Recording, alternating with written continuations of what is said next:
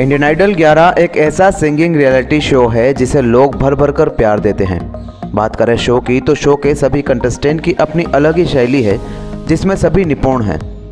अगर पूरे शो में सबसे स्टाइलिश कंटेस्टेंट की बात करें तो वो है जनाबी दास। जी हाँ जनाबी दास का अपना अलग ही एक स्वैग है। वो अपने आप में रॉक स्टार हैं। और दूसरी तरफ़ बात करें कुछ और अलग की तो वो है सनी सांसी।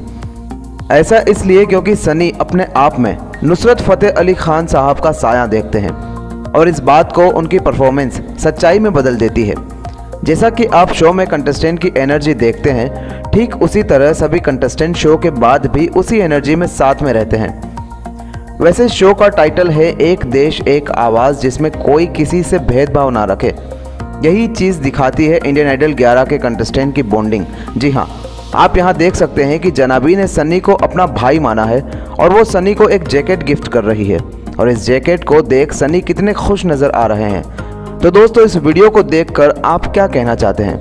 नीचे कमेंट बॉक्स में लिखकर ज़रूर बताएँ। और हाँ टीवी और बॉलीवुड दुनिया से जुड़ी ऐसी लेटेस्ट गोसिप्स के लिए जुड़े रहिए और देखते रहिए बॉलीवुड झमेला। शुक्रिया।